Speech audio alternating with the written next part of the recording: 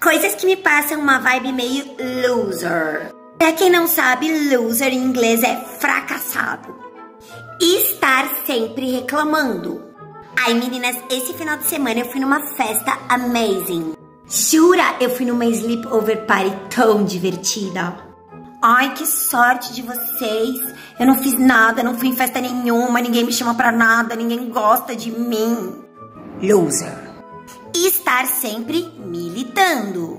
Meninas, vamos assistir o jogo da Copa na casa do Theo? Nossa, vamos muito. Além de eu achar o Theo muito gatinho, eu comprei uma cropped do Brasil. Peraí, meninas, vocês sabem o que tá acontecendo no Catar? Mesmo assim, vocês vão dar audiência pra Copa do Mundo lá? Não reagir quando alguém faz bullying com você.